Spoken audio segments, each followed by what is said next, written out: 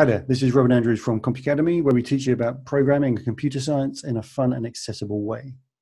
So, we're going to look today at snake case and camel case and to write a function to convert between the two. So, before we do that, let's talk about what they are. All right, so snake case is all lowercase. Okay, now this is good Python. Okay, I'm going to say good Python, I mean following the kind of guidelines. Like there's a thing called PEP 8, which is a document about good stylistic Python, okay? Um, and they recommend using snake case for variable names and function names, okay?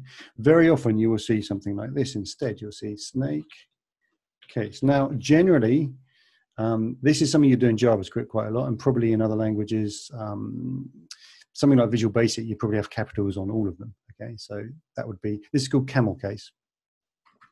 Maybe I shouldn't write snake case, I'll write camel case. And the uh, the naming isn't completely consistent. So sometimes camel case people assume there's a, a, capital at the beginning as well. Sometimes that's called title case. So it's not completely clear. But the the basic style is that you jam your words together with no space in between, and you capitalize each individual word, the first letter of each individual word. And like I say, this is more of a JavaScript or other language thing. It's not very Pythonic. So in Python, we tend to use snake case. Okay, so let's say we find a lovely program um, that we want to use, but it annoys us because we're maybe fussy about this kind of thing, um, that it's using this unpythonic camel case, and we want to do something about that. So we write a function. So def, and we're going to call it uncamel. Okay. And it's going to take a string. I'm going to call it my cetera. Now, in terms of choosing function arguments, just be aware that if you if I'd used str, sorry, s TR. Can you see that I've got this highlighting? Okay, so it's gone purple, which means that's a reserved Python keyword, so I shouldn't use it. Okay, so it's better to use something like my string or some other variable name that you like, but that doesn't clash with a reserved keyword. Okay, okay, and I'm going to be really lazy. I'm just going to do pass. Okay, I'm not doing anything. Now, the reason I've done that is because I like to write tests before I actually write my function. Now, what I mean by that is different ways you can do this. If you do print and then un camel, and then you pass in whatever string you want to uncamel. So let's say, let's do snake case, written with the wrong case. Right? So if I want to uncamel that, then I can make a little, uh, what have I done? Too many brackets. Then I can make a little comment to myself that that should be, should be snake case. Okay, so I'm just going to turn on my line numbers so that I can call them out. And I realize I haven't closed that bracket.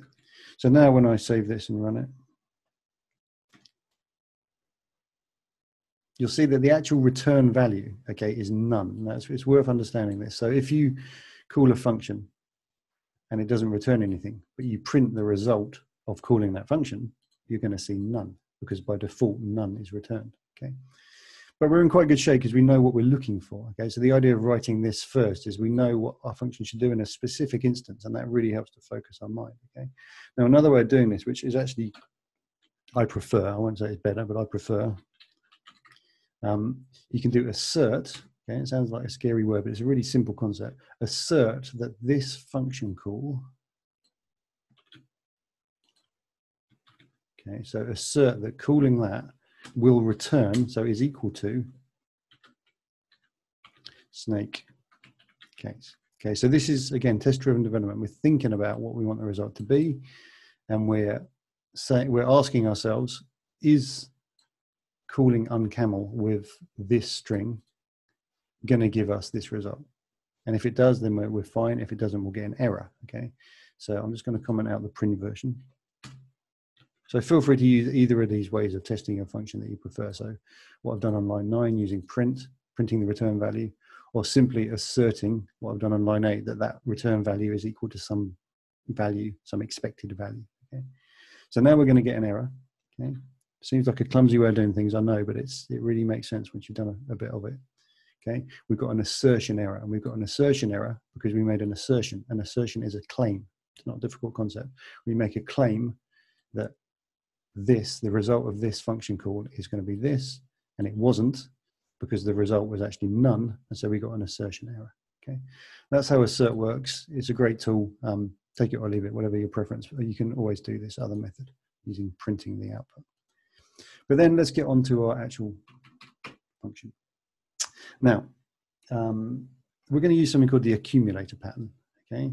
Now, this isn't a technical term. I only came across it recently and I was like, ah, that's exactly what I've been doing so many times. I haven't had a name for it. And the basic idea is we start with some value, um, which is our result. So we can call it output or result, output. And in this case, because we want it to be a string, we're going to start with an empty string. Okay. And then we do something in a loop that modifies that output based on our input. So that sounds really abstract, but so let's, uh, let's just dive in. If you think about the logic, we want the first letter to always be lowercase, okay? So this, this particular example doesn't show that, so I'll do another assertion. Just copy my assertion and do another one. Let's say that even with capital there, we still want the same result. So whatever else happens in the string, we definitely want the first letter to be made lower, okay? Now, let me just show you the functions we're going to use. I'm doing multi-line comments here just so I can do text typing basically. Some of the functions we might need are lower, upper, um, is lower, and is. Okay, so I'm just giving you all these in case you need them. These are ways of dealing with upper and lowercase letters in Python. Okay? And they work by putting dot in front of them all after the string that you're testing.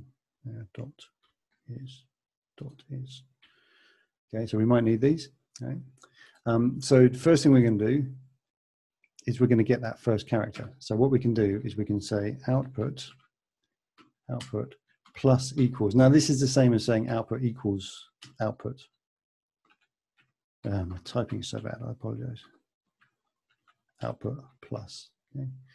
So I'm going to go with this method. The other one's fine if you recognize what I just did there, but this is more more kind of in line with what the syllabus will expect if you're doing an exam. So output equals output plus the first character. Now, how do we get the first character? Well, my str, and it's going to be using string indices, which are the same as list indices. The first character is the one at index zero, okay? So now, if I return my output, uh, we're not going to see it in this case, so let's go back to this version.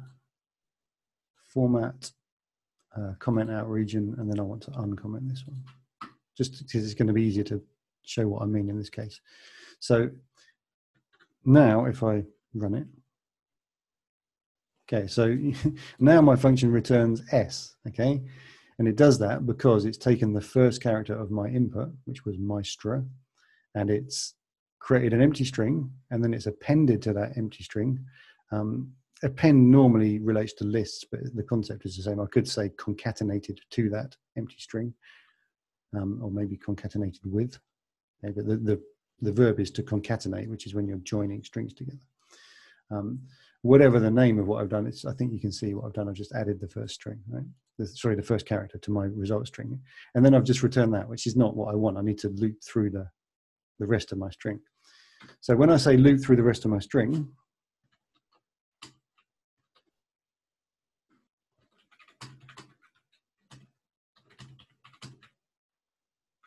Okay, loop for the rest of my string. So we're using iteration. Okay, so we've got those three core concepts that I keep talking about. You've got selection, iteration, and uh, sequence. We're using iteration because we need to do something multiple times.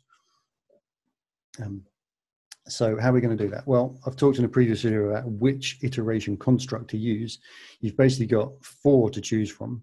Um, if you're doing pseudocode, the fourth one is relevant. If you're just doing Python, it's just the first three. So you've either got for i in range or you've got for i in or you've got while. Okay. Now we're going to use for i in, and i is just an example. You might use a different word. It's going to be much more clear when I actually start typing. For char. Okay. So instead of using for i in range, okay, and then you know some the length of my string is much more Pythonic and much simpler just to say for char or some variable name that's meaningful in the context. Okay, so in this context, we're talking about characters of a string. So we say for character in my my string, right? So, however, we don't want to just do um, the whole string because we only want everything but the the first string. Okay, so actually, before I even do this, I'm just going to show you how that works. Uh, just put a comment in front of that. If I want to print my my strut, and if I want to do a slice of my string, okay, so I can do something like one to four, okay, then you'll see, okay, so here this is not a return value, okay, this is actually printing within the function, so just think about procedures and functions if you if you know about those. I'm not returning, I'm just printing it just to get some debugging output, right? So if I run that. So th this top one was the output of doing a, what we call a string slice from one to four, but not including four. Okay, so it takes the lower bound, but it doesn't go to the upper bound. Okay, it stops one short of that. However, we want from one to the end of the list. And the way we do that is we have this other shortcut. So basically I'm squeezing a lot of information into this into this video. So you, know, you might have to go and unpack some of it. This is called list slicing. And the way you can go just to the end of the list without having to specify where that is, because it might be a you know, variable length list or string, I should be saying, um, is you just have the colon with nothing, yeah? nothing after it. So what I'm saying is for, we're doing our iteration for character in my string, but not the whole string, the string from one to the end. Yeah. So for each character in my string from one to the end, do something. Okay, and what I'm going to do is this. I'm going to do, um, yeah, yeah. Well, it's uh, if this character, and I could be just just to throw this out there. I could be making comments as I go along. Now, I really encourage you to do this, um, especially while you're learning, and even for quite a long time. You know, when you're when you've got quite a lot of experience, write comments as you go along about what you're about to do. Um, so what we're going to do here is we're going to say check if the character, I'll be, I'll be a bit sloppy, just the char instead of character is uppercase. Okay, is uppercase. Um, so that means if char dot is upper, okay, that's how you use that function. If it is, then what do you want to do? Well, you think about the, the result we want. Um, we want snake case with no spaces to be snake case with uh, an underscore and then a lowercase. So first of all, we do output plus equals, which is the same as output, equals output plus, right? And then we bung in this underscore, okay? But we also, this is the case where we found a capital letter, we also want to add oh, output equal, oh, dear me, equals output plus char dot lower, okay? We want the lowercase version of the capital that we just found that told us we wanted an underscore and a lowercase. So that's fine. Now, if I run that, let's see what happens. Always run your code every few lines. See, we've got s underscore c, which is looking okay. So it's not complete, obviously, okay? s underscore c. So what's going on there? Well, basically, we've only dealt with the cases where, we, where our character was uppercase. Okay, so we then need another. Okay, so this is going to be otherwise, and that else is like otherwise. Otherwise, just um, it's not really replacing. Just um, add in the character, or just add the character to output string. Okay, so the output's going to be a string. Typing's embarrassing. Okay, so so this is the else part, right? So else we do output output output equals output output plus plus what? Think about it. Okay, what's it going to be? If you're if you're awake, you know what to put here. If you've kind of drifted away, then you might not be so sure. Okay, basically what we're going to put here is the character. Remember, we're iterate, we're looping through the rest of my string, and we're naming as we go along. Each character is being assigned to the variable name character char. Sorry, um, so that's the one we're dealing with. So it's going to be plus char. Okay. So let's see now. Okay, so it actually works. Snake case, all right? Now let's do that with the assertions. So I'm going to get rid of the print version And I'm going to bring back my assertions. So uncomment region. Okay. And then save. I do control S to save. And then run again, F5. Ah, and I did get an assertion error. okay, so actually this is something that I missed earlier, is I don't just want the first character to be the first character, I want it to be certain to be the lowercase version of that. Okay, so this is why these assertions are so great and knowing what you're looking for. Otherwise, that could easily have passed by and I'd be like, yeah, I've done it, move on to the next thing. But no, there's an error. Okay, so let's try again. Okay, now it looks like nothing's happened. Okay, so the thing about assertions is if nothing happens, your code is correct. Okay, so I did these assertions. The claims that I made would happen, did happen. Okay, so everything's fine. And of course, you might want to write several more. I don't think there's a duplicate line shortcut in IDLE. There is in a lot of editors, so I just have to copy and paste. So I can try another one. I can try, I don't know, um, Python is fun. What should that come out as? Okay, well, it should come out as Python is fun. So let's run that. And again, nothing happened, so I was correct, okay? So it's a different way of doing things. Like I say, you can use the other, if you prefer the other version, it's absolutely fine, where you actually print the result and then kind of manually or visually check um, that the output is what you think it should be. That's basically it. Now, the I said at the beginning, the purpose of this was really to, describe the accumulator pattern. So I better just talk about that for a moment. So it's used so many times. So yeah, the accumulator pattern, we start off with something empty, okay, and then we build it. So in this case, we build the first character, make sure it's correct. And then within a loop, we do the rest of the building and then we return that thing that we initialized to be empty. Now you see this again and again. It doesn't just have to be a string. You see it with lists a lot, and you see it with numbers as well. You might start with a count of zero, and then during some loop, you might increase that count and then return the count. So I might actually just very quickly show you another example. Um, so we do def counter, and it takes, let's say it takes a string. Um, so we do result, and you'll see this so often in Codewars and places like that equals zero. And then for um, char again, let's use char in, in string, okay. Uh, result plus equals, it's the same as result equals result plus one, right? And then we can return return results. So this is very generic. You can use result, you can use output if it's going to be output. Um, so then when we call this, we do um, print counter, and then we pass in, I don't know, cat, and we should get three, right? So let's see if we do. Yeah, okay, so three, okay, so our function works. Same pattern, okay, why is this the accumulator pattern? We start off with something empty, or it might not be completely empty, but we start off with something that we're gonna modify and build on as we go through some kind of iteration. So we start off with zero as being our counter, and then for each character in our string, we increase our counter, and then we return our counter, which is called result.